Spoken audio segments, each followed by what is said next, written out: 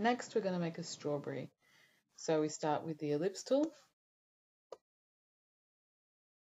Don't need to make a perfect circle unless you want to. And we're going to get the white arrow um, and we're going to deselect.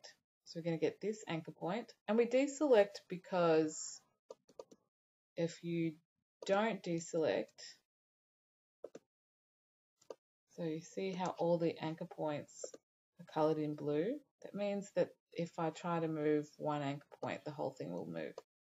So we need to deselect because we just want to grab one. So we're going to squish that down a bit and then elongate this and bring in the handles closer.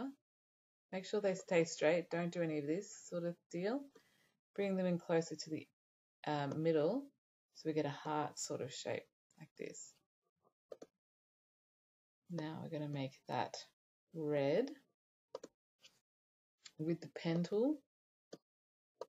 We're going to create a crown. So this is the green part of the top of the strawberry. And remember always to go back to the beginning. Make that like a dark green or whatever green you want. Uh, to zoom up if you need to, control plus, control minus to zoom out. Uh, again, I like this to go underneath, so I'm going to um, just drag it to the back, or you can go arrange and send to back down here. Now that's a very simple strawberry, and that works um, okay. Uh, you can make it cartoon by putting eyes on it or features, but we're going to make this a little bit more complex. We're going to put a pip pattern over it. So I'm going to make this pip way bigger than I would usually just so you can see it. I'm going to make it oval, or yeah, make it an oval, make it black, and we want this anchor point tool. Click on the bottom anchor point, so it's like uh, a pip where it, it kind of gets more narrow at the end. And now we're going to make it small size we actually want it to be on the strawberry. And this, the pip on the strawberry is very small. So that's a bit wide.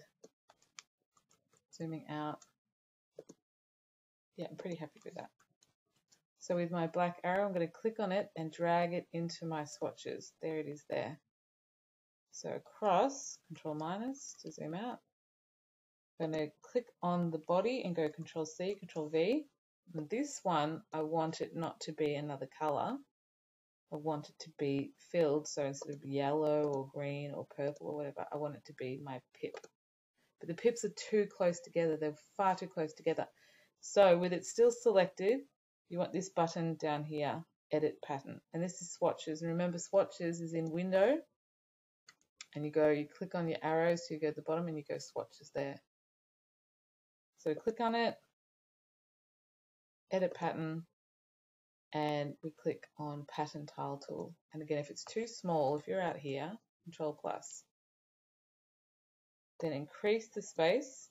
So you're happy with the space that you've got. And instead of grid, we want brick by row. That looks good to me. Press done.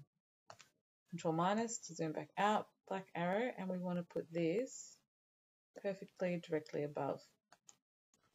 So we've got three layers here and in the end we have a more detailed strawberry. If you want to go even more detailed, you could make a white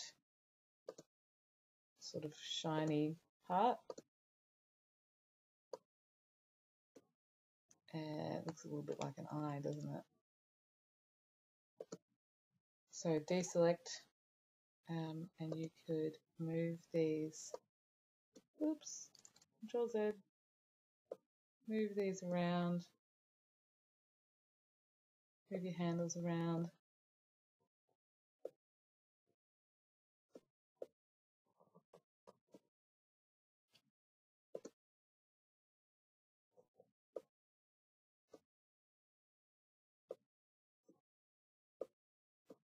And get rid of the outline and see what that looks like. Yeah, so it makes it look a little bit more like a shiny, shiny strawberry. And that's how you make strawberry that's